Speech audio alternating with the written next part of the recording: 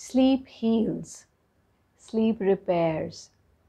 Sleep is that state when your body relaxes absolutely, when your mind is at absolute relaxation, your consciousness partially suspends, and that is the time when your body heals. But unfortunately, we have misunderstood the power of sleep. We have misunderstood the concept of sleep. And that is the reason we need to teach people how to practice yogic sleep, how to practice yoga nidra. We have been experiencing disturbed lifestyles.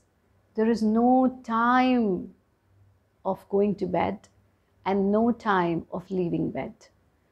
This one habit is ruining your life.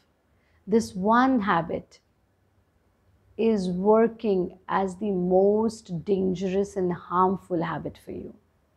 I feel surprised when I meet youngsters and they feel more surprised when they ask me, Acharya what time you wake up? Say, yeah, yeah, I wake up at 4 in the morning. What? You know, till that time it's our midnight and uh, midnight in the sense that they have not even slept by then. So I was really surprised when there was a young fellow who asked me, Acharya what time you sleep? I said, uh, what time you wake up? I said, I wake up at 4 in the morning. And he was like, what? You wake up at 4 in the morning? Till 4 I'm doing my, you know, mindless scrolling on phone.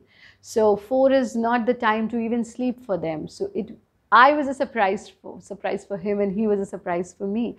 But just imagine what we are doing. We are going against the cycle of nature. See, the nature has created our cycle. And our basic problem is that we are going against the nature in every aspect. We are not eating the food that we get from Mother Nature.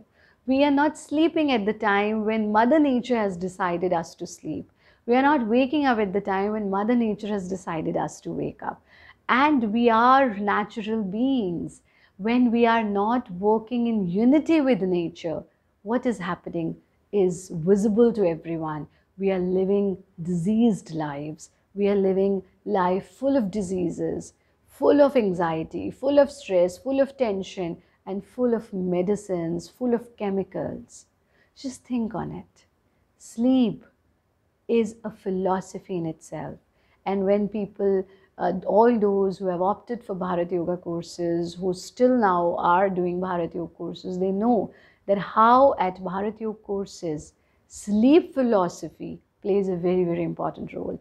Diet science plays a very, very important role because if you want to be healthy, it's not only your workout that's going to help.